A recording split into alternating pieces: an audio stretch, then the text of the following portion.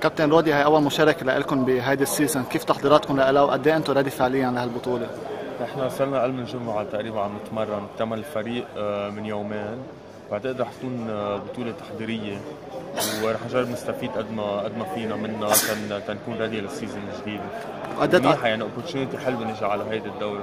وقد إيه تأقلمتوا مع اللاعبين الأجانب حاليا اللي بعدهم جداد معكم نظريا بعد ما ما لحقنا يعني نتمرن أو نتأقلم عرفت؟ دازموند بنعرفه وقت كان يلعب مع بيبلوس بنعرف style لعبه.